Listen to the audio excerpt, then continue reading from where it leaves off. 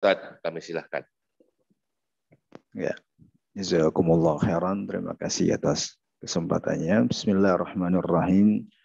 Assalamualaikum warahmatullahi wabarakatuh.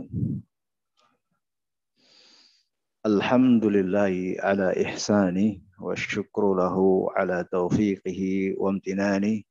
Asyhadu an la ilaha illallah wahdahu la syarika lahu ta'ziman li syani.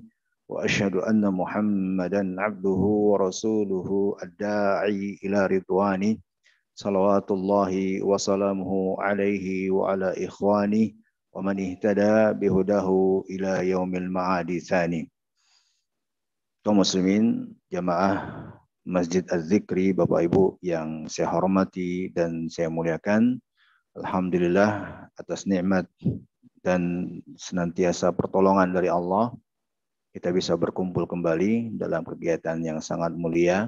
Mudah-mudahan Allah berikan keberkahan padanya dan juga mudah-mudahan Allah jadikan ini sebagai majelis yang dengannya diampuni dosa-dosa kita, yang dengannya juga memberi manfaat untuk dunia dan akhirat kita. Salawat serta salam mari kita awali untuk memanjatkannya bagi Nabi kita, Nabi besar Nabi Muhammad Sallallahu alaihi wa alihi wasallam. Bapak Ibu yang saya muliakan dan saya hormati, sejatinya jadwal kita membahas tentang sifat salat Nabi. Akan tapi karena ada request dari panitia agar kita membahas tentang fikih puasa Ramadan. Dan inilah sebuah pembahasan yang sangat penting. Pembahasan yang sangat penting karena munasib sangat erat hubungannya dengan keadaan kita yang insya Allah kurang lebih dalam sepekan kita akan berjumpa dengan bulan Ramadan insya Allah taala. Semoga Allah perjumpakan kita dengannya. Di antara persiapan yang terbaik bagi kita semua dalam setiap amal ibadah adalah dengan ilmu sesuai yang telah diterangkan berdasarkan Al-Quran dan Sunnah Nabi. Karena dengan ilmu kita bisa mewujudkan amal ibadah sesuai dengan batasan-batasannya. Dengan itu pula harapan ibadah kita diterima oleh Allah pun lebih besar. Sebagaimana kita maklumi, sesuatu itu bila dipraktekkan, uh, direalisasikan sesuai dengan prosedur dan aturannya, maka itulah yang terbaik. Maka demikian juga ibadah kita kerjakan, kita amalkan sesuai dengan tuntunan dan batasan-batasannya, itulah yang terbaik bagi kita semua. Dan ini dengan ilmu yang bersumber dari Al-Quran dan Sunnah Nabi. Inilah yang akan kita bahas dengan judul ringkasan ilmu bekal Ramadan yang dirindu. Kita semua merindukan bulan Ramadan. Iya tidak Bapak-Bapak? Rindu bulan Ramadan? Baik. Puasa secara bahasa itu maknanya adalah menahan diri dari melakukan sesuatu. Itulah secara bahasa. Adapun secara istilah, maka puasa itu adalah ibadah kepada Allah dengan niat menahan diri dari makan dan minum serta semua hal yang merusak dan membatalkan puasa sejak fajar sodik hingga terbenamnya matahari dilakukan oleh golongan dan syarat yang telah ditentukan. Kalimat yang paling penting dalam definisi adalah ketika dikatakan ibadah kepada Allah. Kenapa? Karena kalau tidak ada penekanan kalimat ibadah kepada Allah, banyak praktek di luar sana yang tidak makan, tidak minum, yang menjauhi makan dan minum, tapi bukan ibadah. Maka itu tidak dianggap sebagai puasa secara syariat. Misalnya praktek di dunia medis setiap tindakan sebelum operasi, maka mesti pada umumnya diperintahkan untuk pasien tidak makan dan tidak minum. Disebut dengan puasa. Tapi apakah itu puasa secara syariat? Tidak. Karena bukan dalam rangka beribadah kepada Allah Subhanahu wa taala. Kemudian hadirin yang saya hormati dan saya muliakan, ya sebelum saya lanjutkan kembali bahwa pembahasan saya ini saya kita kita kupas dari risalah atau modul yang telah saya ringkaskan dan telah saya share ke Pak Ihsan format PDF-nya. Jadi Bapak Ibu silakan melihat ya poin-poin tersebut dengan dalil-dalilnya. Karena semua sudah saya cantumkan eh, referensi dan dalil-dalilnya sehingga di penyampaian ini untuk meringkas waktu Saya tidak menyebutkan itu. Tidak menyebutkan sumber atau referensinya secara spesifik. Tinggal bisa dilihat di PDF-nya. Kata yang kedua tentang Ramadan. Ramadan itu berasal dari kata Ar-Ramadha yang artinya adalah hawa yang sangat panas. Adapun secara syariat, Ramadan adalah nama untuk salah satu bulan Hijriyah. Dikarenakan pada saat bulan ke-9 di tahun Hijriyah, itu cuaca dan udara sangat panas sehingga dinamakanlah dengannya. Ini tinjauan definisi secara uh, histori, ya, secara histori. Sebab sejatinya kalau kita melihat bulan Ramadan yang kita jalani ya, di beberapa tahun belakangan secara khusus, kita akan dapatkan ternyata Ramadan udaranya sejuk bahkan hujan. Ya tidak? Ya, sejuk bahkan hujan, apalagi di beberapa tempat. Itu Ramadannya hujan, tidak mendapatkan suasana atau cuaca yang panas. Ya. Apakah masih bisa dikatakan Ramadan? Iya, karena penamaan Ramadan itu adalah penamaan secara histori. Ya, di awal penetapan nama tersebut. Berbicara tentang keutamaan, hadirin yang saya hormati Bapak Ibu, yang saya muliakan, maka terlalu banyak keutamaan. Ada keutamaan terkait dengan puasa secara umum, ada keutamaan terkait dengan puasa Ramadan, dan ada keutamaan terkait dengan Ramadannya itu sendiri. Semuanya ada keutamaan. Ini menunjukkan bahwa hadirin yang saya hormati, di bulan Ramadan itu penuh melimpah ruah keutamaan maka merugilah bagi kita yang tidak memanfaatkan merebut keutamaan ini. Kalau keutamaan puasa secara umum ya bisa mendapatkan derajat ketakwaan, puasa itu meredam gejolak hawa nafsu, puasa itu adalah benteng dari neraka, perisai yang menghalangi seorang dari neraka, puasa itu bisa memasukkan seorang ke dalam surga. Ya, sampai-sampai untuk poin yang keempat ini dalam hadis disebut Ya, Nabi ditanya, "Ya Rasulullah, tunjukkan kepadaku amalan yang bisa memasukkan aku ke dalam surga." Apa jawab Nabi? "Alaika bisawm fa innahu la misalahu." Coba puasa dan tidak ada yang semisal dengan puasa. Tidak ada yang semisal dengan puasa. Saking hebatnya puasa itu. Nabi katakan la misalahu. Tidak ada yang semisal dengan puasa. Kemudian puasa pahalanya tidak terbatas. Puasa bagi orang yang menjalaninya memiliki dua kegembiraan. Siapa yang masih ingat kegembiraan bagi orang yang berpuasa kapan aja itu? Ketika berbuka. Yang kedua ketika menghadap Allah dengan amalan puasanya. Ini fakta. Bapak Ibu yang saya hormati dan saya muliakan, tidaklah ada seseorang yang berpuasa. Apakah puasanya benar atau puasanya salah, ya puasanya main-main atau ya ketika berbuka, menjelang berbuka pasti dia ada rasakan kegembiraan, senang. Ya, kita semua merasakan itu. Ketika menunggu saat-saat berbuka, kegembiraan itu ada di dalam diri kita. Ini fakta luar biasa. Ya, apalagi anak-anak luar biasa.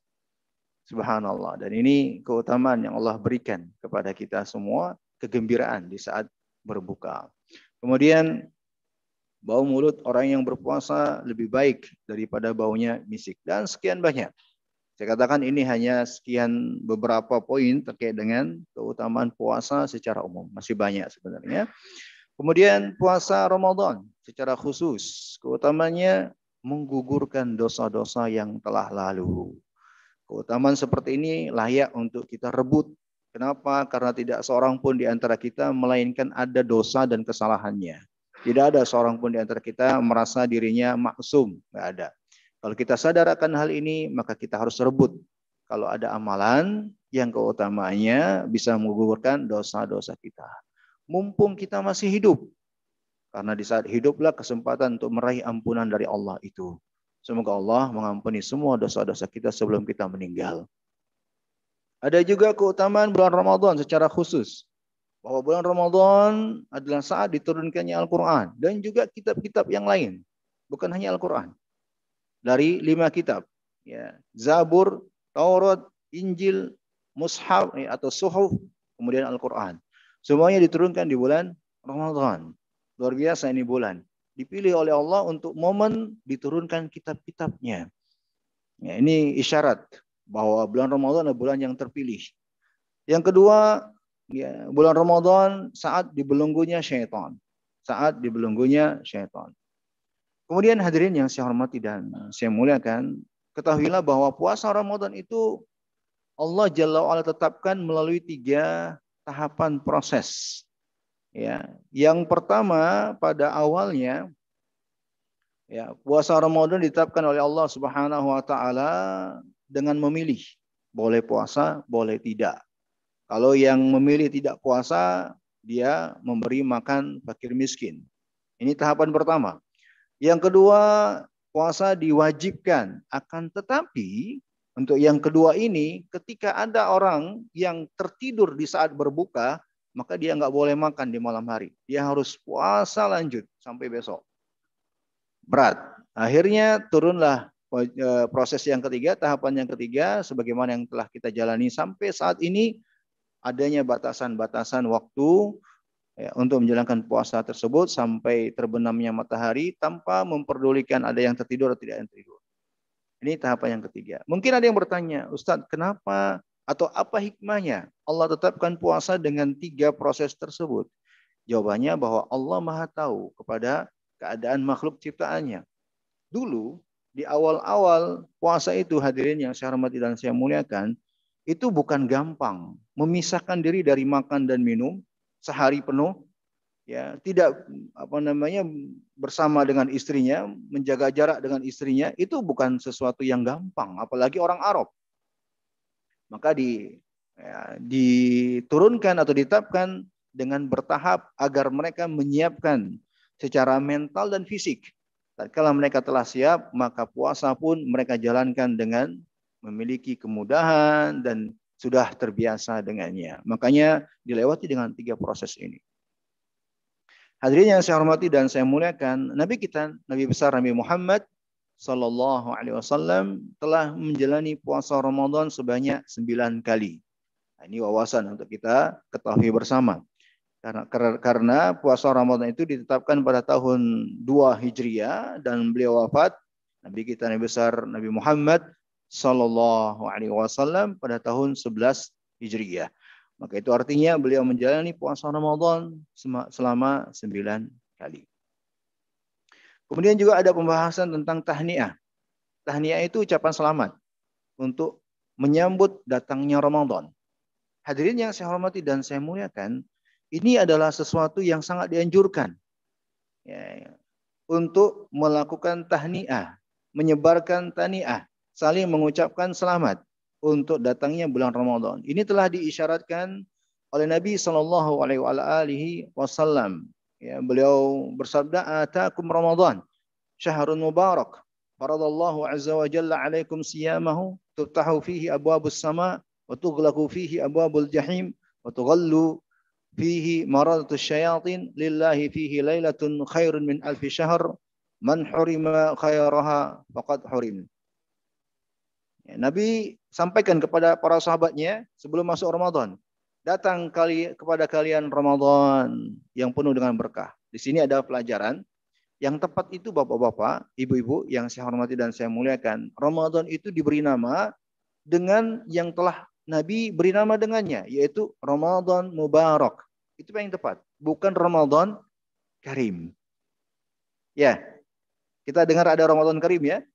Ya, penamaan Ramadan Karim kata para ulama kurang tepat.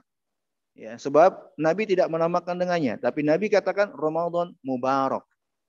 Itu lebih tepat. Ramadan Mubarak. Makanya Syekh Ibnu Utsaimin termasuk yang mengkritisi ya penamaan Ramadan Karim. Ya, kita kalau bisa mencocoki apa yang Nabi SAW telah tetapkan itu yang lebih bagus. Nabi katakan Ramadan Mubarak. Nah, itu lebih tepat. Ramadan Mubarak yang Allah wajibkan bagi kalian puasa padanya. Dibuka pintu langit-langit padanya. Ditutupnya pintu-pintu neraka, dibelenggunya maradah syayatin. Dibelenggunya maradah syaitan-syaitan. Bapak Ibu yang saya hormati, terkait dengan ini, penggalan ucapan Nabi di sini, ada juga pelajaran.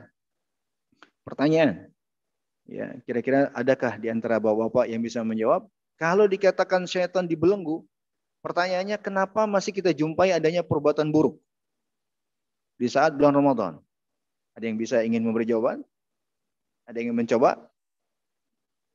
Kenapa kita masih bisa melihat, menjumpai adanya perbuatan buruk di saat Ramadan? Kebiasaan? Kebiasaan buruk. Masih ada lagi yang coba? Hah? Nafsu, Masya Allah, Barakallah fiqh. Ya, ini satu jawaban yang benar. Ada lagi? Bapak Ibu ketahuilah bahwa ada dua jawaban. Jawaban pertama yang diinginkan oleh Nabi bahwa syaitan-syaitan dibelenggu di saat Ramadan itu adalah syaitan jenis khusus. Dan Nabi telah sebut di dalam hadis ini. Makanya saya kasih stabilo. Ya, syaitan yang disebut oleh beliau dengan nama Marodah. Marodah ini adalah nama untuk jenis syaitan pimpinan-pimpinannya pembesar-pembesaran pembesar-pembesarnya yang memiliki permusuhan sangat keras kepada manusia. Itu marodah. Bapak Ibu yang saya hormati, jangan dikira syaitan itu tidak terorganisir. Ya. Sangat terorganisir. Makanya dalam sebuah riwayat Nabi jelaskan pimpinannya menunggu di singgah sananya, di tempat duduknya, di tempat kehormatannya, menunggu pasukannya kembali dan melaporkan saya telah begini, saya telah begitu, saya begini, saya begini. Dia nggak puji. Ketika ada yang melapor, saya telah berhasil memisahkan suami dan istrinya, baru dia puji. Pimpinannya puji, oh kamu hebat, kamu bagus. Maka ketahuilah bahwa syaitan itu yang kita mohon perlindungan dari mereka kepada Allah, itu terorganisir, luar biasa. Nah, yang diinginkan oleh Nabi yang dibelenggu adalah jenis pimpinannya. Maka kalau ada keburukan yang kita jumpai, wajar. Yang kedua jawabannya adalah seperti yang Bapak sampaikan. Karena adanya hawa nafsu pada diri manusia. Yang Allah telah tetapkan dalam Al-Quran. Inna nafsa la'ammaratum bisu. Pada jiwa manusia itu ada gejolak yang senantiasa mengajak manusia untuk berbuat buruk. Itulah ammarah bisu. Ya, jadi tidak bertentangan, tidak kontradiktif dengan apa yang telah Nabi SAW sebutkan. Adanya keburukan karena memang ya seperti itu. Kemudian kata Nabi SAW, di dalamnya ada satu malam yang lebih baik dari seribu bulan. Siapa yang diharamkan dari kebaikannya, maka sungguh dia benar-benar telah diharamkan. Ini adalah sabda Nabi yang beliau sampaikan sebelum Ramadan datang. Di hadapan para sahabatnya. Maka para ulama mengatakan ini adalah dasar untuk tahniah ucapan selamat dan hukumnya boleh walaupun mungkin berbeda secara redaksi. Kalau budaya yang berkembang di masyarakat kita selamat menjalankan puasa Ramadan. Kalimat marhaban ya Ramadan. Ini bagus. Ini tahniah namanya. Dan tujuannya apa? Supaya saling mengingatkan kita akan menghadapi bulan Ramadan agar memotivasi dan menyiapkan hal-hal yang perlu dipersiapkan. Ini namanya tahniah dan itu sangat dianjurkan. Baik. Hukum puasa Ramadan. Dimaklumi bersama, Ramadan puasanya adalah salah satu dari lima rukun Islam. Sebagaimana rukun Islam yang lainnya, demikian juga puasa Ramadan harus atau sebuah keharusan, sebuah kewajiban hukumnya bagi setiap kita yang telah mampu untuk menjalankannya berdasarkan Al-Quran, hadis dan ijma para ulama. Bagaimana bagi yang tidak puasa Ramadan? Hadirin yang saya hormati dan saya muliakan, bagi yang meninggalkan puasa Ramadan tanpa udur, ini dia telah melakukan dosa besar dan dianggap rusak keislamannya. Imam Muzahabi rahimahullah dalam kitab beliau Al-Kabair beliau mengatakan bahwa para ulama kaum mukminin telah menetapkan, telah ijma bahwa kalau ada yang meninggalkan puasa Ramadan tanpa uzur, maka ia dihukumi lebih buruk daripada pezina, lebih buruk dari pecandu khamar, bahkan diragukan keislamannya. Dan mereka menganggap ia termasuk zindik lagi sesat. Bapak Ibu yang saya hormati dan saya muliakan, ini sebenarnya peringatan untuk kita semua. Ya. Jangan salah persepsi. Ya, menganggap wah ini kok terlalu keras hukumnya. Ya. Saya katakan, saya pernah di sebuah tempat menyampaikan hal ini dan saya katakan bahwa ini perlu kita sampaikan kepada kaum muslimin. Kenapa? Karena agar jangan sampai ya, berkembang terus fakta yang kita jumpai di luar sana, apalagi di pasar. Bapak Ibu yang sering ke pasar akan menjumpai. Faktanya apa? Banyak di antara kita kaum muslimin meremehkan puasa. Di saat bulan Ramadan, di pasar itu banyak yang nggak puasa. Dan mereka kaum muslimin. Ya tidak? Meremehkan puasa. Apalagi orang pasarnya, orang-orang. Mereka kaum muslimin. Meremehkan puasa. Ya, justru mereka yang telah melakukan perbuatan yang sangat nista ya, terhadap agama ini. Diremehkan puasa. Tidak ada bedanya antara hari puasa dan tidak puasa. Maka diingatkan agar mereka tidak meremehkan puasa. Maka bagi yang tidak puasa Ramadan tanpa udur, ya, diragukan keselamatan. Supaya kita jangan meremehkan puasa. Ada pelajaran penting. Bagi yang tidak sholat fardu, tapi melaksanakan puasa Ramadan. Ada juga di antara kaum muslimin yang puasa, tapi nggak sholat. Ya, hadirin yang saya hormati dan saya muliakan, para ulama menjelaskan bahwa jika ada yang menjalankan puasa Ramadan, tapi ia nggak nggak salat fardu, maka puasanya nggak diterima secara syariat. Kenapa? Karena orang yang nggak salat hukumnya sama dengan non Muslim, yang jika mereka beramal kebajikan tidak diterima sebagai pahala bagi mereka di sisi Allah Subhanahu Wa Taala. Dan Allah berfirman, Inna ma yataqabbalallahu minal muttaqin. Sesungguhnya Allah itu menerima ya dari orang-orang yang bertakwa. Dan di antara ciri yang paling membedakan kita dengan non muslim adalah sholat sebagai wujud ketakwaan. Kalau pakaian kita di luar Bapak Ibu di pasar atau di mall kita nggak sulit membedakan mana muslim mana non muslim secara penampilan lahir sulit. Akan bisa kita beda indikasi muslimnya ketika berkumandangnya azan atau waktu sholat tiba. Apalagi kalau azan terdengar Allahu Akbar, Allahu Akbar.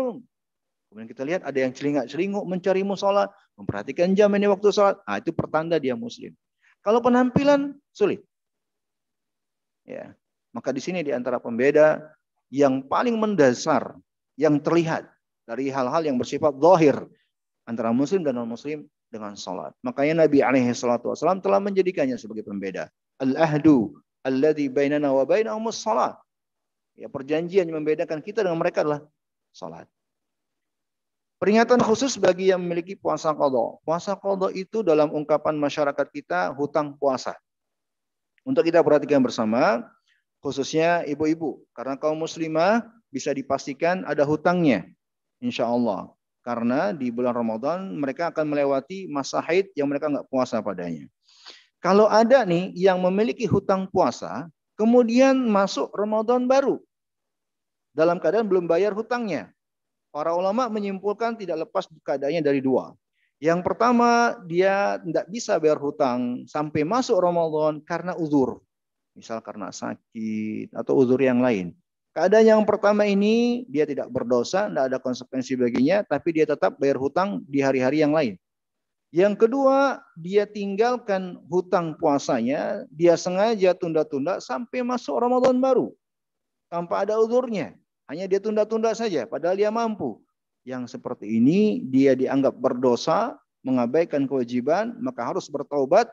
Yang kedua, dia juga mengkodok puasanya tersebut di saat di hari-hari yang lain di luar Ramadan.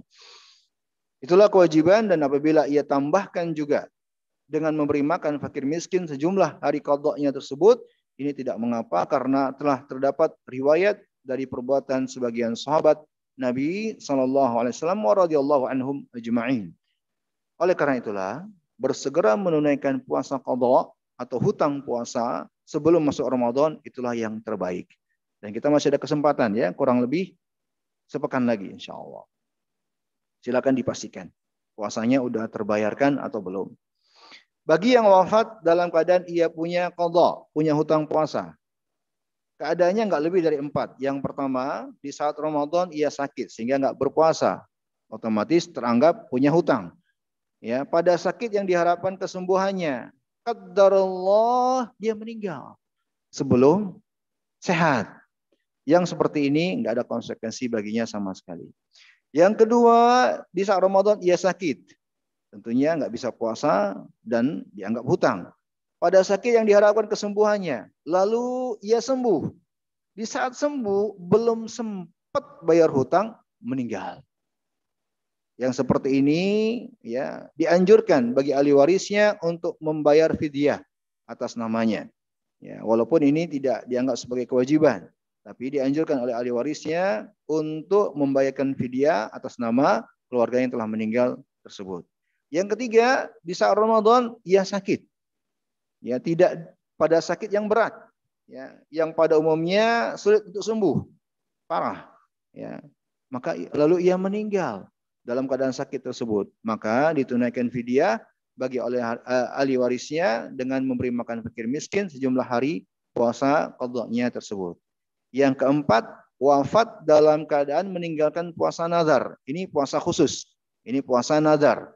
Kalau puasa nazar lalu dia meninggal sebelum menunaikannya, wajib hukumnya, bukan anjuran, wajib hukumnya bagi ahli waris untuk menjalankan puasanya tersebut dengan diniatkan atas nama keluarga yang meninggal tersebut. Misalnya ada orang bernazar, ya Allah, kalau saya lulus, saya puasa tiga hari. Masya Allah lulus, diumumkan dia lulus. Menerima berita lulus, meninggal dia. Lulus, meninggal. Ya, Masya Allah, belum sempat menikmati lulusannya, meninggal. Ya. Bagaimana nazarnya? Wajib tetap ditunaikan oleh ahli warisnya. Jalankan. Ya, ini yang diperintahkan Nabi alaihi salatu wasalam. Man sama ya fasama alaihi waliyuhu. Siapa yang meninggal pada seperti ini ya, maka soma eh, puasa atasnya bagi ahli warisnya. Kita masuk ke pembahasan selanjutnya tentang penentuan masuk bulan Ramadan. Masuknya bulan Ramadan hanya dengan dua cara sebagaimana dimaklumi ya berdasarkan hadis Nabi alaihi salatu wasalam sumu li ru'yatihi wa abtiru li ru'yatihi fa in ghumma alaikum fa aqmilul iddah salasina puasalah karena melihat hilal berbukalah atau selesaikanlah Ramadan karena melihat hilal kalau enggak terlihat maka sempurnakan bulan menjadi 30 anggaplah nih anggaplah kita ikuti kalender sesuai kalender puasa itu hari Sabtu depan kalau nggak salah. Ya tidak? Pekan depan. Berarti kalau ru'ya itu dilakukan pada hari Jumat sorenya ya. Sebagai tanggal 29 Syakbannya. Gampang. Kalau sore hari di, di hari Jumat itu telah terlihat hilal, maka berarti besok pasti Ramadan. Kalau nggak terlihat di saat itu sore Jumat itu hilal, maka berarti besok masih masih Syakban 30. Selesai. Lusanya pasti Ramadan. Kan gampang. Kalau metode yang Nabi alaihi salatu wasallam tuntunkan. Makanya para ulama e, tidak menganjurkan untuk metode hisab. Ya, sampai sebagaimana dikritisi oleh para ulama sejak e, Syekhul Islam Ibnu Taimiyah rahimahullahu taala agar tidak bersandar dengan hisab. Hisab itu adalah metode yang penentuannya dengan rumus-rumus. Ya, sehingga telah ditetapkan e, waktu puasa abadi untuk tahun sekian sudah diketahui. Ya, yang paling tepat adalah dengan ru'ya dan alhamdulillah ya negeri kita menerapkan eh, metode ru'ya ini insyaallah taala. Ada masalah tentang penetapan matla. Matla itulah tempat terbitnya hilal. Ya, sebagian ulama berpendapat kalau ada suatu negeri sudah terlihat matla maka negeri lainnya ikuti negeri tersebut. Ada lagi yang berpendapat tidak, masing-masing negeri sesuai dengan matlaknya masing-masing. Matlak ini tempatnya uh, terbitnya hilal. Yang benar dan rajih insya Allah taala pendapat yang mengatakan bahwa masing-masing negeri dengan matlaknya masing-masing. Tidak mengikuti negeri yang lain. Nah, di atas permasalahan dan diskusi inilah hadirin adanya pendapat-pendapat yang kita kadang dapatkan ya bahwa puasa ikuti Saudi ya puasa Arafah juga ikuti Saudi ini karena dasarnya masalah ini ya adanya pendapat kita mengikuti satu matlak yang benar adalah mengikuti matlak masing-masing negeri. Ya, terbitnya hilal masing-masing negeri. Itu yang paling tepat. Dan inilah yang dilakukan oleh Ibnu Abbas. Jadi pernah ada salah seorang pulang dari negeri Syam ke Madinah. Ibnu Abbas ada di Madinah. Syam ini e, negeri Palestina, Yaman dan sekitarnya. Pulang ketemu Ibnu Abbas menyampaikan di Syam mereka telah puasa, telah melihat hilal. Kata Ibnu Abbas, kami belum melihat ya udah yang di sana silakan puasa, kami di sini belum puasa karena belum melihat hilal. Lalu kata Ibnu Abbas, demikianlah Rasulullah Sallallahu Alaihi Wasallam memerintahkan kami. Oleh karena itulah Imam Subuki dari kalangan mazhab Syafi'i mengatakan bahwa di masa Abu Bakar, di masa Umar, di masa Utsman, di masa Ali, selagi mereka menjadi khalifah, tidak memerintahkan seluruh buldan, seluruh negeri mengikuti matlaknya mereka. Nggak pernah dilakukan oleh mereka. Maka yang tepat di sini adalah mengikuti matlak masing-masing negeri. Kemudian ketika hendak tiba Ramadan tidak boleh kita berpuasa sunnah lagi. Bila niatnya untuk kehati-hatian. Tapi kalau puasa sunnahnya karena memang kebiasaan, maka tidak mengapa. Kalau ada yang berpuasa dalam rangka kehati-hatian, ini dianggap apa yang Nabi sebut, barang siapa yang berpuasa pada hari yang diragukan, maka ia telah durhaka kepada Abul Qasim, ya Nabi kita Nabi besar Muhammad sallallahu alaihi wasallam. Durhaka. Tidak boleh, ya. Karena kita beramal itu bukan karena keraguan-raguan, tapi dengan suatu kepastian. Baik. Dan yang diinginkan dengan hari yang meragukan tersebut adalah hari-hari di penghujung bulan Sya'ban. Kita masuk ke pembahasan selanjutnya, mulai puasa diawali dengan niat. Ketahuilah Bapak Ibu bahwa berniat untuk melakukan sesuatu itu adalah amalan hati. Ketika ada keinginan untuk melakukan sesuatu, itulah dikatakan niat. Sehingga tidak perlu dilafatkan, diucapkan dengan kalimat-kalimat tertentu, karena memang pada asalnya tidak ada dasarnya sama sekali dalam agama. Baik. Niat untuk amalan itu teranggap sebagai syarat sah. Demikian juga puasa Ramadan yang diharuskan berniat untuknya sejak sebelum terbit fajar. Nabi SAW dengan tegas bersabda, "Malam yujmi'i siyama qabla al-fajri fala siyamalahu." Siapa yang tidak berketetapan hati, yakni berniat untuk berpuasa sebelum fajar, maka tidak sah puasanya. Tidak sah puasanya. Maka harus ada niat menghadirkan niat setiap malam, memperbarui niat setiap malam sebelum subuh. Makanya kalau ada yang berpendapat bahwa puasa untuk Ramadan bisa cukup di awal Ramadan, dia niatkan puasa Ramadan satu bulan penuh, tidak perlu lagi memperbarui niat di tiap harinya, ini pendapat tidak tepat. Kurang tepat. Berdasarkan hadis ini. Ketika Nabi katakan sebelum fajar, itu menunjukkan setiap hari. Ya, harus ada pembaharuan niat. Kita ingin puasa, kita ingin puasa. Dan ini adalah sebuah keharusan menghadirkan niat karena niat adalah syarat sahnya amalan. Bentang waktu puasa. Dimaklumi bersama, puasa dimulai sejak fajar, yakni waktu subuh, kemudian hingga terbenamnya matahari. Yang saya tekankan di sini Bapak Ibu yang saya hormati bahwa puasa itu berakhir dengan ditandai terbenamnya matahari, bukan azan terbenamnya matahari. Ini yang ingin saya tegaskan. Kenapa? Karena bisa jadi kita dapatkan di sebuah tempat azannya lebih cepat. Ya. Bagaimana kita tahunya Ustaz? Bisa dilihat dengan cara coba perhatikan ufuk sebelah terbenamnya matahari barat. Kalau di sana masih berwarna jelas orange, ya, kemerah-merahan atau orange yang jelas, itu pertanda mataharinya belum terbenam dengan sempurna. Kalau itu yang terjadi, maka belum boleh berbuka. Kadang ada azan maghribnya kecepatan, ya. Dan azan bukanlah pertanda eh, waktu puasa telah selesai.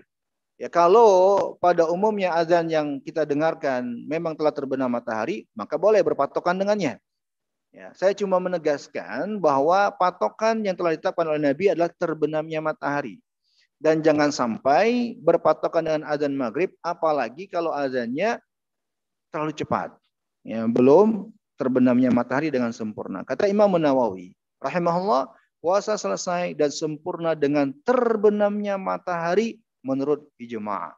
Sehingga jika azan di suatu tempat untuk sholat maghrib pada saat ternyata belum terbenam matahari, maka boleh belum boleh dibo, belum dibolehkan untuk berbuka. Kalau memang kita tahu. Kalau kita nggak tahu, maka ya udah nggak apa-apa insya Allah. Karena ketidaktahuan kita dan tidak mampu untuk memastikan hal tersebut.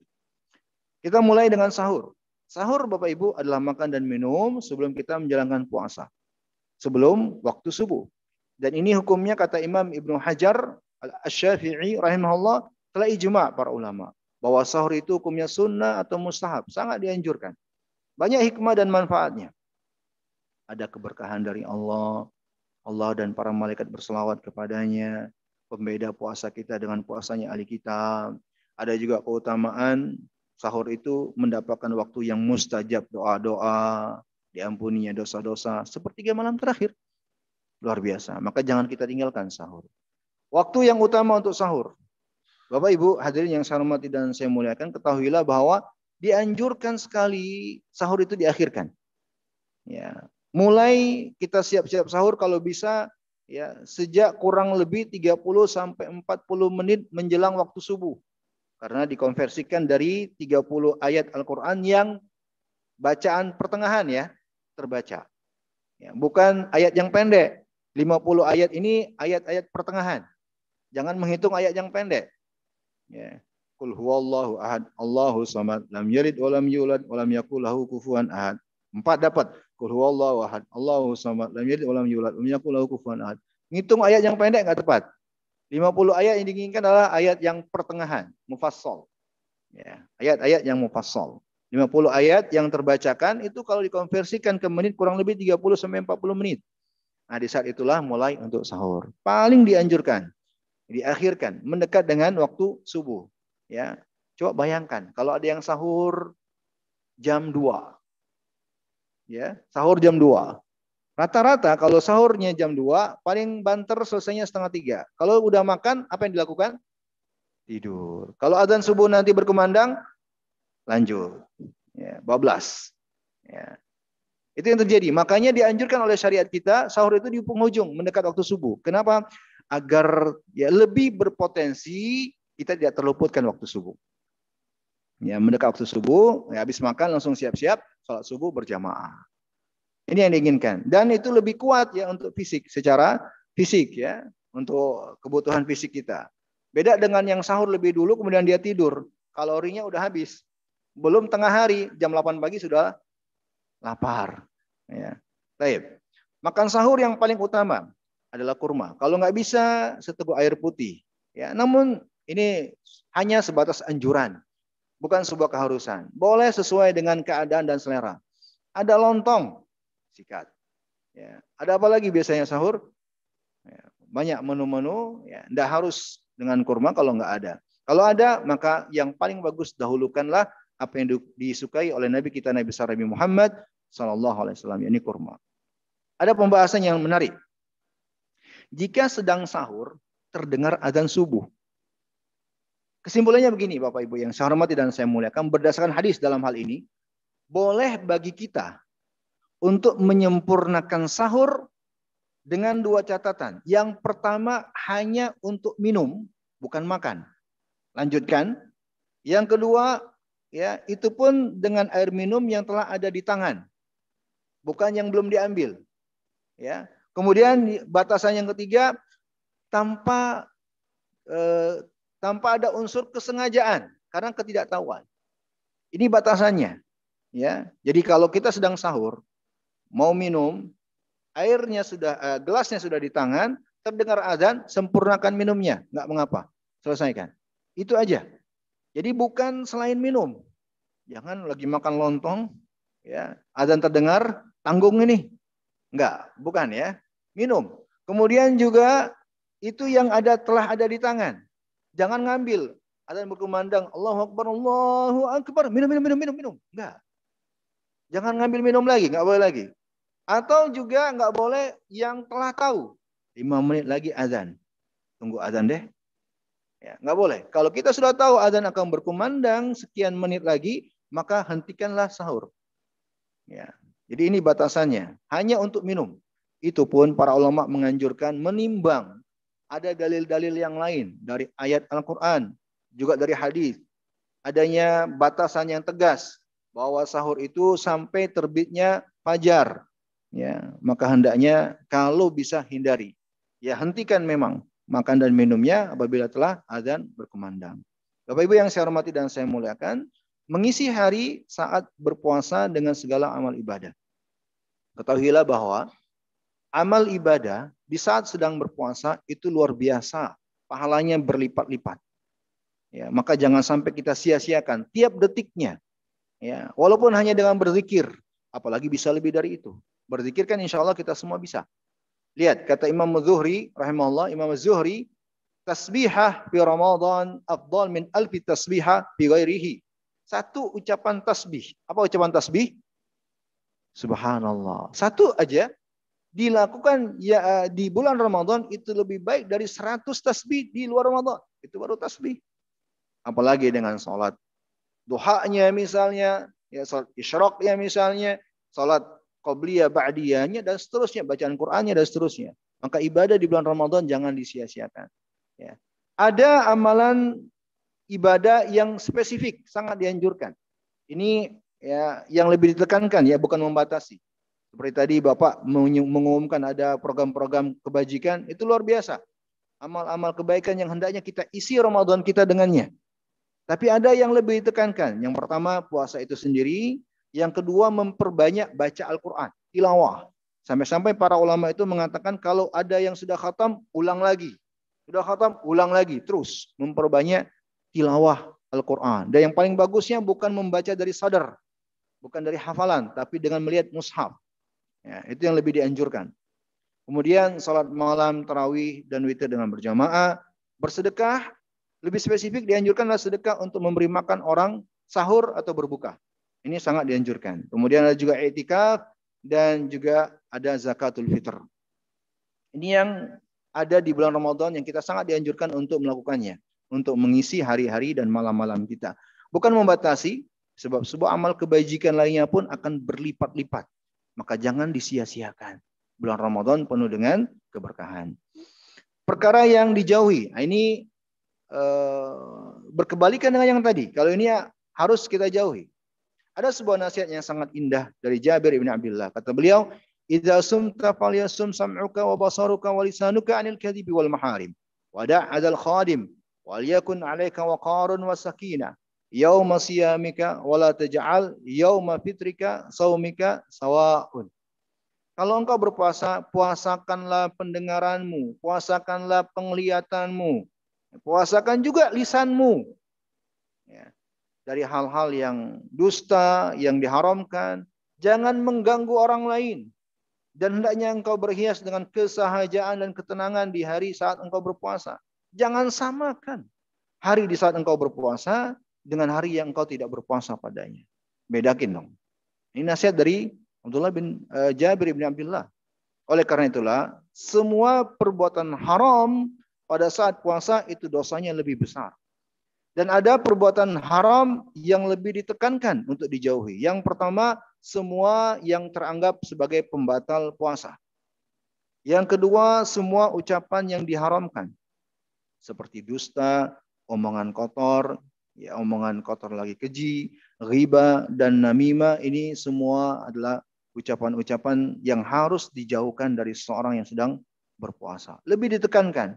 Kenapa? Karena Nabi alaihi wasallam secara khusus menyebutkan dalam sabda beliau, "Laisa siyamu minal akli wa syurbi, innama siyamu minal lagwi war rafathi." Fa in sabaka ahadun aw jahila alaika faltaqul inni shaim inni shaim. Bukan puasa itu cuma menahan lapar dan haus, tapi hakikat puasa adalah menahan diri dari ucapan yang kotor lagi sia-sia. Jika ada yang mencacimu, lihat ini. Sampai-sampai Nabi ajarkan kita untuk memuliakan puasa. Kalau ada yang mengganggu kita, yang mengusik kita, yang membuli kita, memancing emosi kita, Nabi katakan jangan balas. Tapi katakan saya sedang berpuasa. Saya sedang berpuasa. Ustadz, ada yang bertanya. Kalau kita udah bilang nih saya berpuasa masih juga Ustadz. Saya katakan tinggikan sendiri, tinggikan sedikit nadanya. Saya berpuasa loh. Masih juga Ustadz. Saya puasa ini, bilang gitu. Masih juga Ustadz. Kira-kira gimana diapain lagi nih? Ya, insya Allah sudah cukup menjadi peringatan baginya ya. Yang jelas Nabi nasihatkan kita agar tidak membalas dalam rangka memuliakan puasa. Nabi juga bersabda, "Man lam yada' qaula zur wal amal bihi falaysa lillahi hajatun fi ayyada' ta'amahu wa syarabah." Siapa yang enggak meninggalkan perkataan dan perbuatan yang haram, maka Allah enggak butuh dia meninggalkan makan dan minumannya. Enggak enggak ada manfaatnya puasanya kalau tetap melakukan perbuatan yang haram. Ada perbuatan spesifik yang makruh sebaiknya ditinggalkan ya untuk dijauhi. Di antaranya adalah mubalaghah ketika berwudu. Kalau berwudu di saat berpuasa cukup dirongga aja. Jangan sampai ke pangkal hidung. Kalau kita tidak berpuasa keadaan biasa, pastikan berwudu sampai ke pangkal hidung. Itulah yang disebut dengan mubalaghah fil istinsyaq. Kalau kita berpuasa, pastikan airnya cukup dirongga hidung saja, nggak sampai ke pangkal hidung. Makruh kalau kesampai pangkal hidung. Karena Nabi melarang, ya. Wabalik filistin syak illa antakuna iman. Ya bersungguh-sungguhlah ketika menghirup air ke dalam hidung kecuali engkau berpuasa. Batasannya apa? Pastikan cukup di rongga saja, enggak sampai ke pangkal hidung. Yang kedua mencium istri atau sebaliknya, tentunya bagi yang telah berkeluarga dan ini bagi yang mampu, uh, bagi yang tidak mampu menahan diri, ini makruh ya, untuk mencium istri dan sebaliknya. Ya, makruh bagi yang tidak mampu menahan diri. Kemudian yang ketiga mencicipi makanan tanpa ada hajatnya. Ya, dan demikian sebaik dari itu perkara-perkara yang mubah. Mubah itu boleh. Ya, yang pertama sahur dalam keadaan junub boleh. Berkumur-kumur dan istinsyak tadi dengan batasannya itu boleh.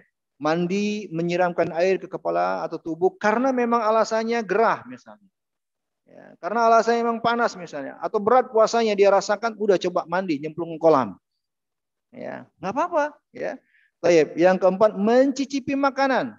Tapi lihat penjelasan para ulama di catatan kaki saya cantumkan di situ bahwa ya, khususnya ibu-ibu ini biasanya ibu-ibu yang masak. Mencicipi makanan itu adalah sedikit dan itu pun diletakkan di ujung lidah, udah ketahuan rasanya dibuang, dimuntahkan, diludahkan, bukan ditelan.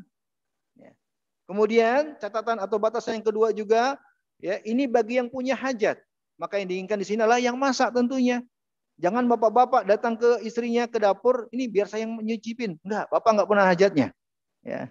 Ibu-ibu hendaknya melarang itu. Enggak usah, enggak usah. Bapak enggak ada hajatnya, enggak ada perlunya. Cukup ibu-ibu aja karena mereka yang dianggap punya hajat. Kemudian batasan yang ketiga, mencicipi itu adalah yang sedikit. Cuma secuil. Yang sekira-kira sudah dapat rasanya. Jangan satu sendok beralasan mencicipi satu sendok. Kemudian habis satu sendok, beralasan mencicipi lagi dengan mengatakan, kayaknya belum tahu deh rasanya tadi. Enggak, enggak boleh. Ini sudah melampaui batasan, enggak boleh. Baik. Kemudian mencium istri, tadi telah kita jelaskan dengan batasannya. Kemudian menggunakan obat semprot untuk penderita asma ke hidung atau ke mulut. Dengan catatan bila dipastikan yang disemprot itu enggak sampai ke lambung. Kalau dia tertelan sampai ke lambung, enggak ini enggak boleh. Kemudian yang ketujuh menggunakan sikat gigi. Karena ini sama halnya dengan siwak yang Nabi anjurkan di setiap saat. Ya, maka para ulama menyebutkan bahwa kalau mau aman, sikat gigi kan rata-rata kita pakai pasta gigi ya. Pasta gigi kan umumnya, saya nggak nyebut merek, itu memiliki aroma yang tajam. Itu dikhawatirkan sampai ke lambung. Maka kalau mau sikat gigi di siang hari, di saat puasa, sikat gigi aja tanpa menggunakan pasta gigi. Itu aman. Ya, lebih aman, lebih menjaga kehati-hatian. Atau giginya di saat sahur dan nanti setelah berbuka. Lebih aman lagi. Baik. Kemudian suntikan yang tidak mengandung zat makanan. Termasuk juga lembasan ini suntikan vaksin. Ya, kita berbicara hukum untuk puasa. Ya, bahwa suntikan vaksin itu tidaklah membatalkan puasa sebagaimana terangkan oleh Syekh Abdul Aziz Al Syekh. Pembatal-pembatal puasa. Jima bagi suami istri, ya, bagi yang telah berkeluarga, keluar air mani dengan sengaja, ini juga pembatal puasa, makan dan minum, kemudian membekam atau dibekam sama dengannya yang didonor, donor darah. Ya, tapi kalau untuk donor dan fasdu itu kias kebekamnya yang dibekam. Ya, adapun yang mendonor atau yang memfasdu tidak dikiaskan kepada yang membekam. Kenapa yang e, membekam dianggap batal puasanya? Karena dulu asal penetapan hukum ini di masa Nabi berbekam itu dengan menggunakan tanduk hewan yang berbentuk corong. Kemudian dihisap. Yang membekam itu bisa dipastikan karena kalau prakteknya seperti ini dia akan terhisap darahnya walau sedikit. Tidak bisa dihindari. Ya. Kemudian yang kedua juga dia dianggap membiarkan orang lain lemah dan rusak puasanya maka dia dianggap batal puasanya. Adapun yang uh, medis tenaga yang mendonor ini nggak bisa dikiaskan dengan hal tersebut. Begitu juga fasdu. Hanya saja dikiaskan kepada yang donor darahnya atau yang fasdunya. Baik. Kemudian yang kelima, muntah dengan sengaja. Yang keenam, keluar darah haid atau nifas bagi wanita. Yang ketujuh, berniat. Nah, ini pembatal puasa ini. Kalau ada nih, ah gak kuat ini puasa, batalin deh. Walaupun dia belum makan dan belum minum dengan niat bulatnya itu batal puasanya. Karena niat ini amalan hati yang harus terjaga sampai selesai puasa. Tadi telah kita bahas sebagai syarat sahnya puasa. Innamal a'malu innamal a'malu biniat. Amal itu tergantung dengan niatnya. Jadi walaupun dia nggak makan dan nggak minum, kalau dia niatnya udah bulat, batal puasanya. Nah, ini juga solusi kalau kita berada di kendaraan terjebak macet, nggak ada makan, nggak ada minum, udah waktu berbuka, udah niatkan bulat untuk berbuka, buka kita. Batal udah puasanya. Yang kedelapan, naudzubillah keluar dari Islam. Inilah pembatal-pembatal puasa dan pembatal puasa semuanya, Bapak Ibu yang saya hormati dan saya muliakan, dianggap membatalkan puasa kalau dilakukan dalam keadaan tiga hal. Pertama, dia tahu udah. Yang kedua, dia sadar, bukan lupa. Yang ketiga, bukan terpaksa.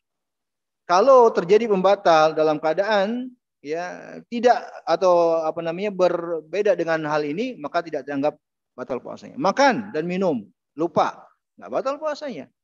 Ya. Donor terpaksa, nggak batal puasanya. Dan seterusnya. Baik. Konsekuensi orang yang melakukan membatal puasa tanpa uzur. Pertama dia berdosa, maka harus bertobat kepada Allah.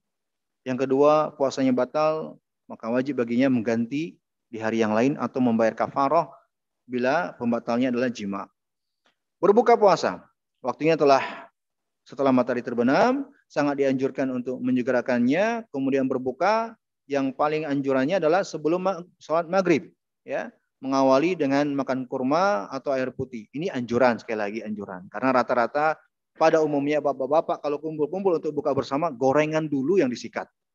Walaupun ada kurma di sebelahnya, kadang-kadang gorengan dulu yang disikat. Ya, Masya Allah. Doa ketika berbuka yang ada riwayatnya ini, zahabaz zama'u wa batallatil uruqu wa sabatal ajru insyaallah. Ini yang ada riwayatnya dari Nabi. Adapun doa Allahumma laka sumtu wa bika amantu wa ala rizkika aftartu. Ini kalau disandarkan ke Nabi enggak tepat. Tapi kalau dibaca dengan niat hanya sebatas doa, tidak mengapa. Kalau yang ada riwayatnya ini dia nih. Zahabat zama'u wa batallatil uruq wa sabatal ajru. Kemudian ada faedah, perhatikan terjemah. Ketika Nabi katakan doa ini dibaca dan artinya adalah rasa haus telah hilang. Para ulama mengatakan doa ini hendaknya dibaca kalau kita berbuka habis minum. Habis minum, baru baca doa ini. Sehingga sejalan dengan maknanya, kolerasinya dengan makna doa tersebut. Kalau kita berbuka makan gorengan, ya, tahu isi misalnya. Setelah itu baca doa ini nggak cocok. Nggak cocok. Bisa dipahami nggak? Ya, apalagi misalnya ketika berbuka makanya makan apa misalnya? Ya, hal-hal yang tidak men, apa namanya sejalan dengan makna yang terkandung dalam hadis ini. Sebab Nabi katakan telah hilanglah dahagaku.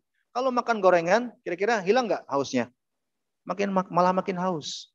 Kemudian juga ada doa khusus bagi yang memberi makanan buka. Karena kita kalau puasa itu kalau nggak kita yang memberi, kita diberi.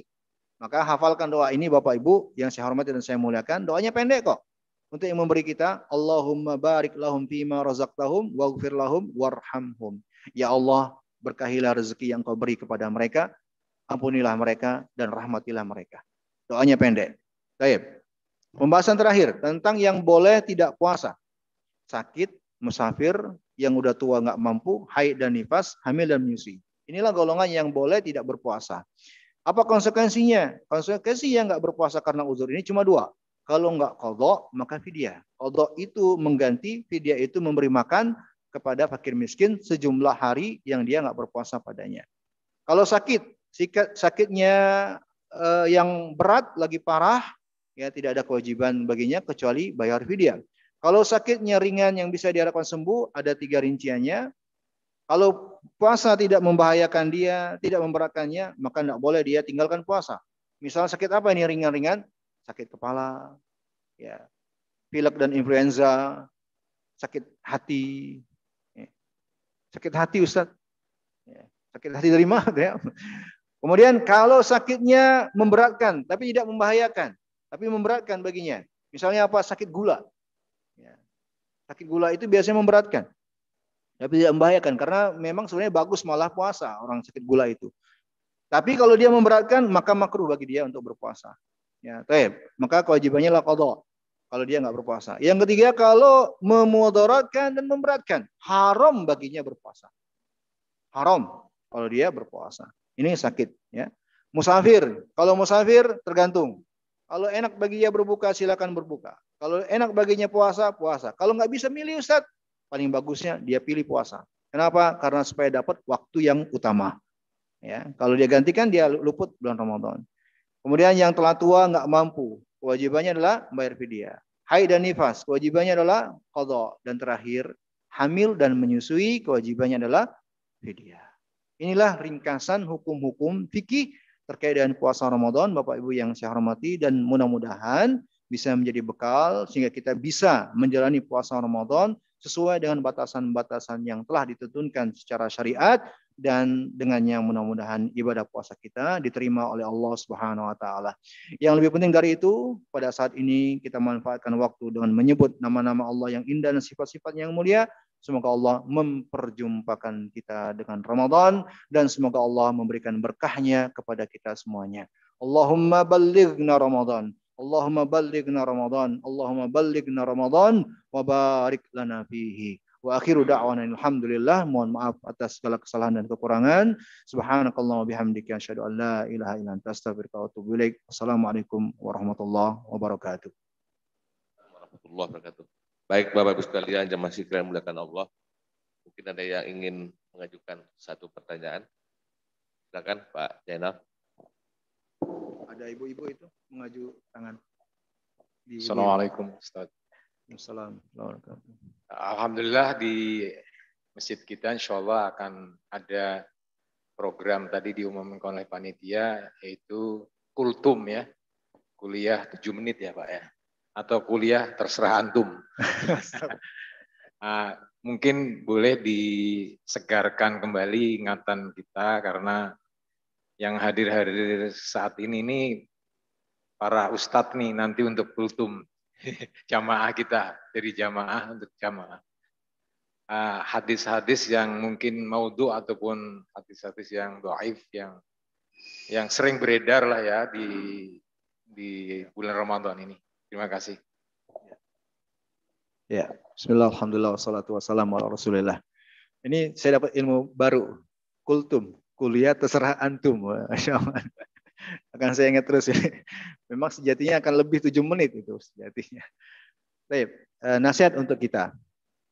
Ya, khususnya uh, yang akan mengemban amanah menyampaikan kultum di bulan Ramadan nanti agar betul-betul menyampaikan kebaikan dan niatkan ikhlas agar bermanfaat bagi kaum muslimin dari apa yang akan disampaikan.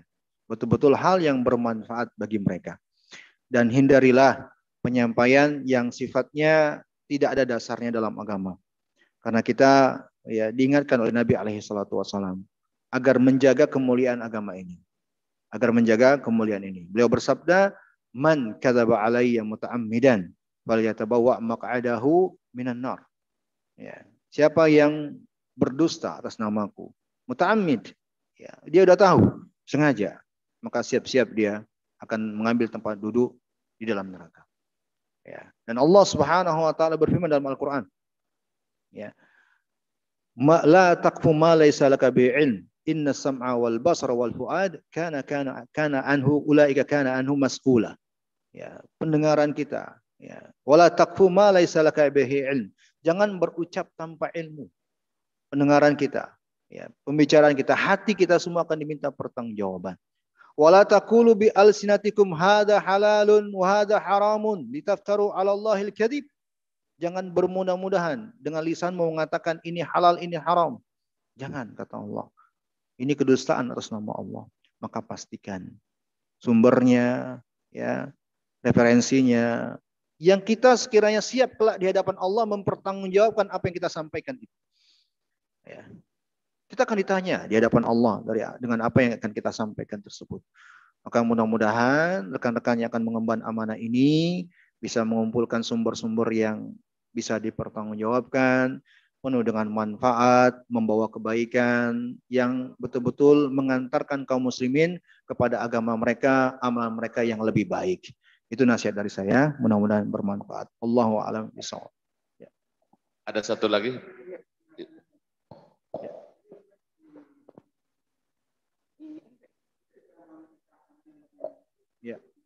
Ya. Enggak, itu yang benar. Enggak ulah kalau itu yang benar. Tapi sudah. Mohon maaf nih, ada ibu lebih dulu dari tadi. Ya. ya jangan sampai kita memotong kesempatan. Saya khawatir nanti. Ada ibu-ibu dari tadi mengangkat tangan. Saya lihat beliau mengangkat tangan. Silakan Bu. Terima kasih. Assalamualaikum warahmatullahi wabarakatuh.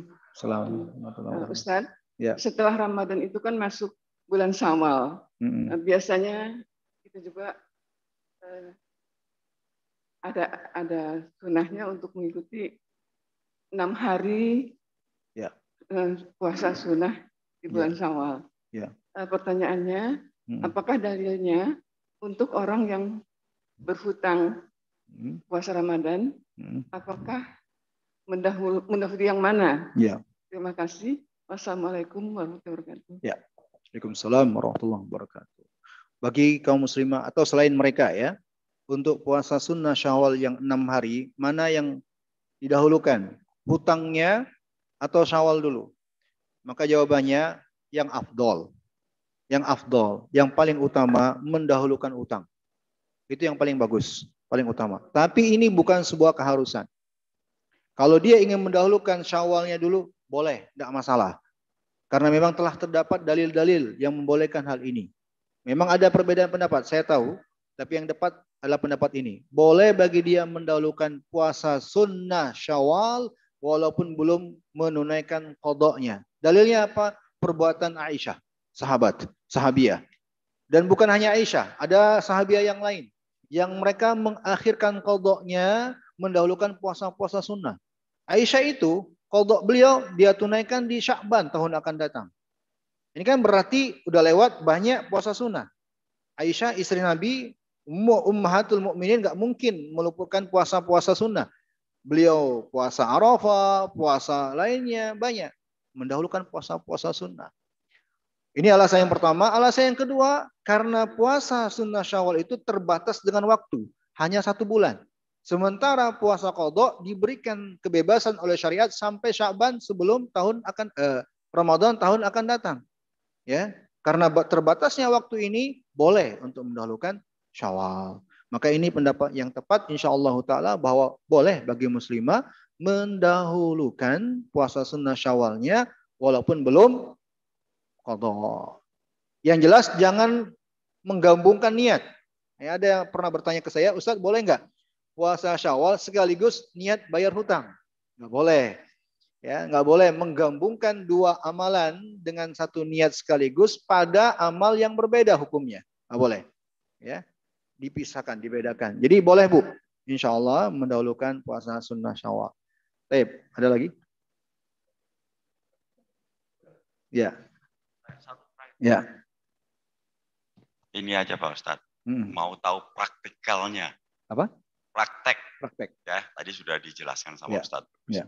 Kalau Teori. Ustadz sendiri Hmm. menyiasati satu kali 24 jam itu bagaimana dalam Masya bulan puasa. Allah. mulai subuh, ya. Mudah-mudahan bisa kita tiru Pak Ustadz. Oh ya, Allah musta'an. Ya. Baik. Kalau kalau untuk puasa ya eh, mulai dari kapan ini? Subuh ya, mulai subuh. Baik. Salat subuh berjamaah ya di masjid, kemudian habis salat subuh berzikir, zikir setelah salat, kemudian zikir pagi, kemudian tilawah, ya murojaah kalau eh, pada saat-saat saya diminta untuk imam, maka saya akan merojaah untuk mempersiapkan bacaan. Kemudian setelah itu salat isra, apabila ada kelapangan dan badan enak, eh, memperbanyak salat duha. Ya, kemudian dilanjutkan eh, kebutuhan sehari-hari ya, bersama dengan keluarga, anak, istri, kemudian yang lainnya. Kemudian eh, saya mengupayakan sebelum zuhur itu ada qailulah. Qailulah itu tidur siang sejenak, sesaat. Ya. Sebelum zuhur, bukan setelah zuhur. Sebelum zuhur, walaupun sesaat. Dan sebelumnya, eh, kalau bisa jam 10 sebelum zuhur itu kembali tilawah. Kalau lapang, karena saya punya aktivitas mengajar di beberapa tempat, ya maka kadang saya manfaatkan untuk mengajar di beberapa lembaga pendidikan. Kemudian salat zuhur, setelah itu uh, zikir, kemudian salat sunnah, kemudian menyempatkan diri juga untuk tilawah kembali. Kemudian kalau memang badan membutuhkan istirahat, maka istirahat sejenak, lalu melanjutkan mengajar. Saya biasa hari-hari mengajar dari Senin sampai hari Rabu, dan kadang juga Kamis Jumat ada jadwal mengajar. Kemudian eh, sampai asar, setelah asar zikir sore, setelah zikir sholat, kemudian zikir sore, kemudian melanjutkan lagi tilawah. Dan setelah itu menyempatkan waktu untuk memperhatikan jadwal. Kalau ada permintaan eh, apa namanya kajian untuk Ramadan ini eh, banyak ada jadwal setelah asar menjelang berbuka, maka saya ke sana. Kalau tidak, maka saya eh, menghabiskan waktu bersama dengan keluarga untuk membantu di eh, rumah. Kemudian malam harinya ya ya kebiasaan ada kalau ada jadwal bersama kaum muslimin bermajelis taklim, kemudian salat tarawih seperti biasa bersama kaum muslimin dan menyempatkan diri untuk eh, apa namanya memberi nasihat dan tausiah bersama dengan jemaah di beberapa tempat, kemudian istirahat. Itu jadwal saya dan saya yakin bapak-bapak lebih lebih bagus lagi insya Allah kegiatannya. Ya,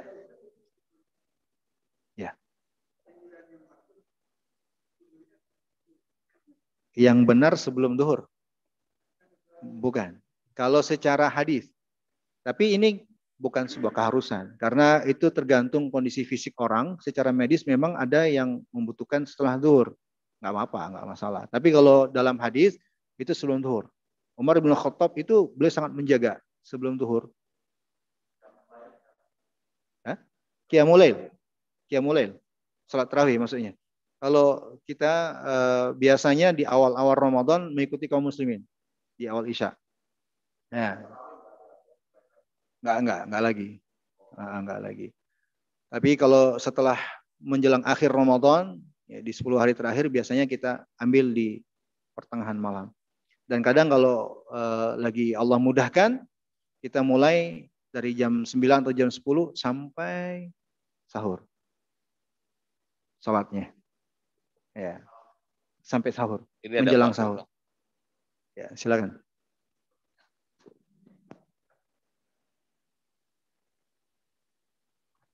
Uh, Assalamualaikum warahmatullahi wabarakatuh. Ustaz, tadi dijelaskan di hadis tadi tidak boleh ada keraguan dalam melaksanakan rom, puasa Ramadan, Pak. Ya. Hmm. Nah, di Ramadan ini kan ada kemungkinan ada perbedaan nih. Nah, ini kan potensi keraguan kita. Ada tanggal 2 sama 3. Ya. Ada yang hisap sama rukyah kan gitu. Hmm. Nah, uh, bagaimana menyikapi ini ya. uh, terkait dengan hadis tadi ya. tentang keraguan. Terus yang ya. kedua sedikit kalau di 10 Zulhijjah itu kan uh, utamanya di siang hari Ustaz ya. Nah, kalau di Ramadan ini yang lebih utama di siang atau di malamnya atau di kalau apa? Utamaan di Ramadan, di oh. malam hari atau di siangnya? Oh iya. Ya. Oke, pertanyaan pertama saya lebih menasihatkan agar kita mengikuti penunjuk Nabi, yaitu mengawali puasa dengan informasi yang didapat berdasarkan ru'yah. Ya, berdasarkan ru'yah. Memang di kalender kan tanggalnya udah tentuin, tapi kan kita mengikuti tetaplah fonisnya kan pemerintah. Dalam hal ini Departemen Agama yang akan mengumumkan fonisnya, kepastiannya. Tunggu aja itu. Ya, tunggu aja itu pengumuman dari pemerintah. Ya, dan pemerintah secara zahir kita lihat ya ini adalah keputusan yang mereka simpulkan dari ru'yah yang mereka telah tugasan di beberapa titik kan untuk melihat hilal. Maka saya nasihatkan ikuti aja itu, tunggu aja itu. Dan itu insya Allah lebih lebih lebih apa lebih aman ya lebih bagus kita nggak nggak apa namanya nggak repot-repot ikuti aja pemerintah tunggu aja pengumuman pemerintah ya itu yang lebih eh, lebih berwenang untuk menetapkan hal ini dan itu yang lebih tepat untuk kita ikuti berdasarkan ru'yah pemerintah. Kalau seandainya ada yang e, berpendapat dengan mengikuti yang lain, kalau memang itu yang jelas dipastikan aja supaya tidak ragu. Hilangkan keraguan. Kalau ada di antara kita mengikuti e, ada penetapan selain dari hal tersebut, pastikan aja, silakan dipastikan. Yang jelas jangan e, jangan disisipi dengan keraguan-raguan. Jangan ada ragu-ragu. Ya, pastikan aja, diyakinkan aja. Ya, dengan menimbang dasar-dasarnya apa, dalil-dalilnya apa, kemudian pasti pastikan dengan hal tersebut, maka ikuti aja itu. Jangan disertai dengan keraguan-raguan. Kalau saya sih lebih menyarankan ikuti uh, keputusan pemerintah aja. Itu saran dari saya.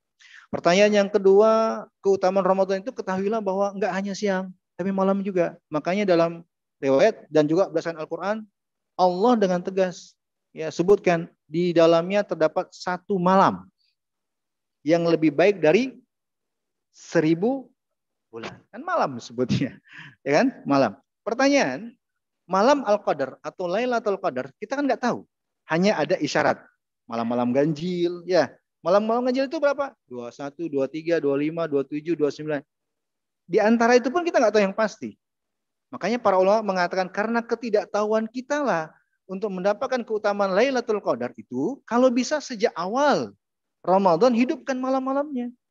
Kata Syekh bin Bas kalau ada yang menghidupkan malam-malam Ramadan dengan ibadah, dia pasti dapat keutamaan Lailatul Qadar. Bisa dipastikan. Nah ini kan malam. Malam-malam. Maka jangan dikira bahwa keutamaan Ramadan cuma siang, malam-malam juga. Artinya apa? Setiap ibadah yang kita lakukan di malam hari juga berlipat-lipat pahalanya. Itu yang diinginkan dengan hal ini. Berlipat-lipat pahalanya. Semua kebajikan ya, semua paha, semua ibadah tanpa terkecuali. Yang paling ringannya pun berlipat-lipat. Allah taala alam bisawab. Ya. Silakan Pak Miftah ada satu lagi Pak dari rumah. Pak Miftah silakan Pak. Dari rumah. Ada lagi? Pak Miftah, silakan Pak. Pak di mute Pak. Ya. Saya Miftah Roha, orang Jogja yang Masya Allah. Nafkah di Jakarta ini, ya Ustaz. Ustaz, ya. saya dengar tadi Ustaz itu juga mengajar di perguruan tinggi. Saya ini yang mengajar. Dan saya di bulan Ramadan ini mempunyai semester memulai jadwal untuk mengajar saya Ustaz. Saya pertanyaan saya, ya. puasa enam hari di eh, puasa sunat enam hari di bulan Syawal itu, mm-hmm. sunat kan? itu pedomannya apa Ustaz? Enam hari itu, kok enggak sepuluh hari atau lima belas hari begitu? saya mohon petunjuknya Ustaz, ya. supaya kuliah saya itu juga tidak melanggar melanggar itu kuliah. Ya. Makan. Ya. Assalamualaikum warahmatullahi wabarakatuh. Waalaikumsalam warahmatullahi wabarakatuh. Rasulullah Shallallahu Alaihi Wasallam bersabda dalam hadis yang diriwayatkan oleh Imam Al Bukhari, hmm. "Man soma Ramadana, summa ba'ahu sittan min Syawal, faka'annahu yasumu dahra." Barang siapa yang berpuasa Ramadan, kemudian dia ikuti enam hari di bulan Syawal, maka seakan-akan dia telah mendapatkan keutamaan orang yang berpuasa setahun penuh. Jadi berdasarkan hadis, Bapak. Ya, ada hadis dari Nabi Shallallahu Alaihi Wasallam anjuran untuk puasa enam hari di bulan Syawal. Wallahu taala alam bisawab. Alhamdulillah. Baik Bapak sekalian, waktunya juga ya akhir kita. Mari kita tutup kajian pada pagi hari ini dengan bersama-sama membaca doa kebetul majelis. Subhanakallahumma bihamdik. Asyhadu an la ilaha illa anta astaghfiruka wa atubu ilaik. Nun wal kalami wa ma yasturun. Assalamualaikum warahmatullahi wabarakatuh. Waalaikumsalam warahmatullahi